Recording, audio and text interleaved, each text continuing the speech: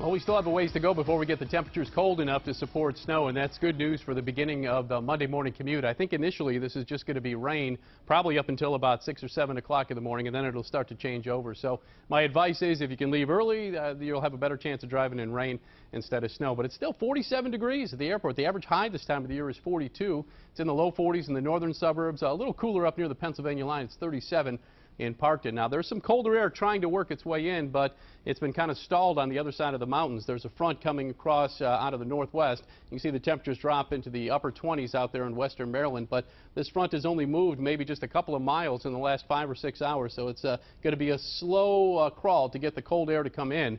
And at the same time, the moisture is racing in from the southwest as this storm comes out of the Mississippi Valley. So initially, this is going to be mostly rain, and right now it's pretty sparse, but this should fill in over the next few hours, and we should get at least some light rain going by 2 or 3 o'clock in the morning, and then the beginning of the commute, the rain will start to pick up in intensity. And you can see some snow with this system here, and plenty of rain. It's a, it's a pretty healthy storm, but it's just a narrow band of snow going across the northern part of Kentucky into the southern part of Ohio. So it's going to be a sharp cutoff as to who gets the rain and who gets the snow tomorrow. This will be mostly a northern suburbs event, and I'll break that down for you here in just a second.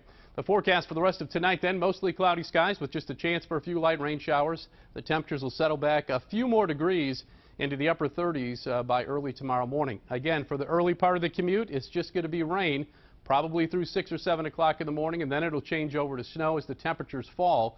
Another piece of good news here is that even though it's going to be snowing for the middle of the morning, I think the temperatures are going to be at or slightly above freezing, so that's going to help out a lot on the roads. So the next question is obviously uh, how much snow are we going to get? And again, this is going to be mostly a northern suburbs thing here. If you live uh, south of Annapolis, this is going to be rain for you folks. But a stripe of one to three inches of snow, it looks like around the city and down towards Annapolis. Get a little further north three to four inches perhaps across the central part of Baltimore County and into Harford County.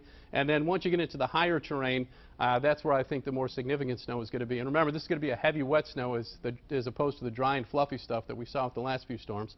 So northern Baltimore, Carroll, Frederick County, four to six inches, and then back into uh, western Maryland and the mountains of uh, Pennsylvania, maybe up to nine inches of snow. So the seven-day forecast, once we get beyond that, should be a dry day on Tuesday with a high temperature near 35. Could be a period of freezing rain or ice developing early Wednesday morning and then plain old rain in the afternoon.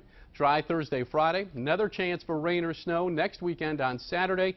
And it could uh, end as a period of snow on Sunday.